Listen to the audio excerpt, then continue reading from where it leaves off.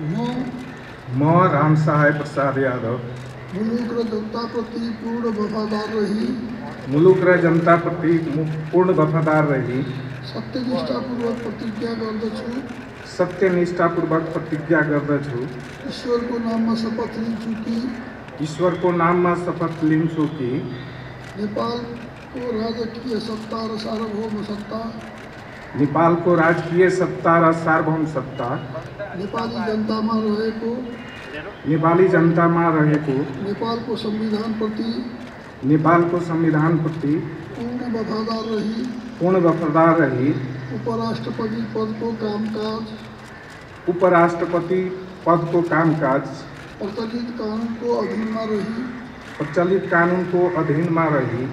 मुलुक र जनता को सोझो चिताई मुलुक र जनता को सोझो चिताई।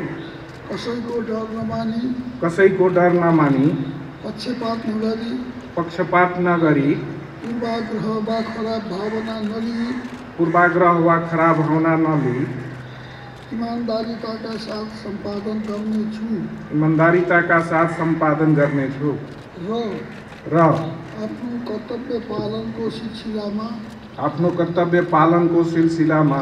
आफूलाई जानकारीमा आएको आफूलाई जानकारीमा आएको प्रचलित कानुन बमोजिम गोप्य राख्नुपर्ने कुरा। प्रचलित कानुन बमोजिम गोप्य राख्नुपर्ने कुरा।